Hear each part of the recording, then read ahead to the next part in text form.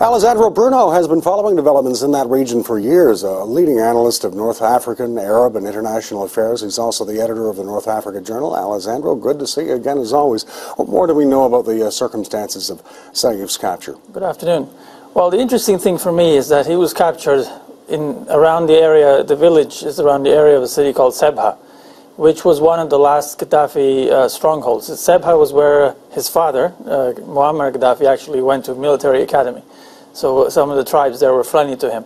But he was trying to get, I don't, I'm not even quite sure if he was actually really trying to get out to Niger, because in, in Niger he would have been arrested. Uh, and uh, probably uh, the authorities are trying to work with the new government, so they would have probably handed him over. I think his real goal was to be arrested by uh, Uh, international forces so as to go to uh, to be tried in The Hague mm -hmm. instead of Tripoli. Yeah. So, in other words, he didn't want to take the chance of uh, facing the fate that his father faced after, yeah. you know. And in terms of his uh, treatment in captivity now, many people are saying that, uh, well, how he's treated uh, while he awaits his transfer to The Hague in Holland, the international court, is going to be an indication of uh, of just how ready Syria is and this new regime is to deal with international human rights and justice. Well, that's part of the, the, the his fear now. I, I think he would rather uh, he would rather go to the Hague. I think right now he's going to Tripoli, and he's going to be tried in, in Libya and probably face the death penalty.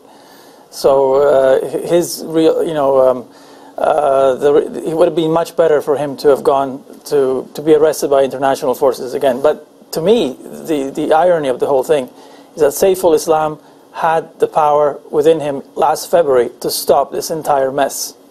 Uh, he was long slated as being the successor and when yeah, I was really shocked uh, at his turn because uh, uh, he was the uh, the person in the regime who was the most um, uh, outward. Uh, you know, he had the most relations with the outside world and promoted actual change many times. In fact, some at one point he had to actually leave Libya because the newspapers that he ran were considered too liberal and advocated too many reforms.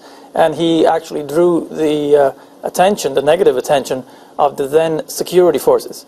So he was seen as more of a, an outsider uh, uh, from, from the security force point of view, and the, the real successor. Had Gaddafi, uh, father, handed over power in February, he could have stopped this the entire uh, civil war that followed and kept the palace and the, uh, and the wealth and not ended up as he did. And the question, of course, will always remain because we'll never know. Yeah. Now, in terms of the region, Canada's Defence uh, Minister Peter MacKay today uh, telling uh, delegates of the International Security Forum that the international uh, mission that helped overthrow Muammar Gaddafi is not to be considered as a, a, blueprint or a model for other interventions in that region, uh, countries like Syria yeah, or that's Iran. The, that's the message. do you agree? Yes, but that's the clear message because there's pressure on the international community to do something about Syria. There's not going to be any regime change in Syria through sanctions. No Arab regime has ever fallen through sanctions. Uh, and uh, the only military, external military force will do it.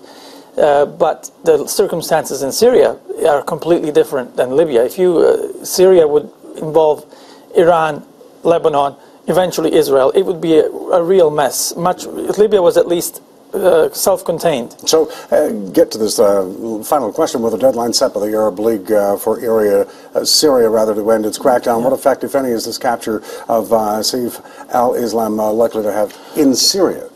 in Syria, I think that the the impact was the, the, the impact of Gaddafi's death was psychologically was far greater and more important. This is not going to affect Syria too much.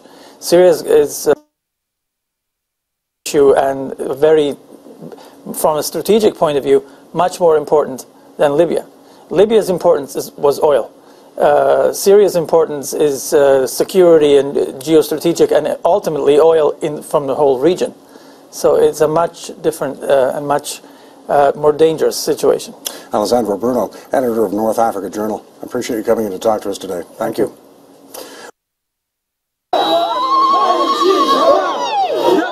His arrest spread quickly through Libya, and celebrations erupted on the streets of Tripoli. Now we are, we are free. All cheering the capture of Saif al-Islam Gaddafi, son of the late Muammar Gaddafi. Have you heard that Saif is being caught?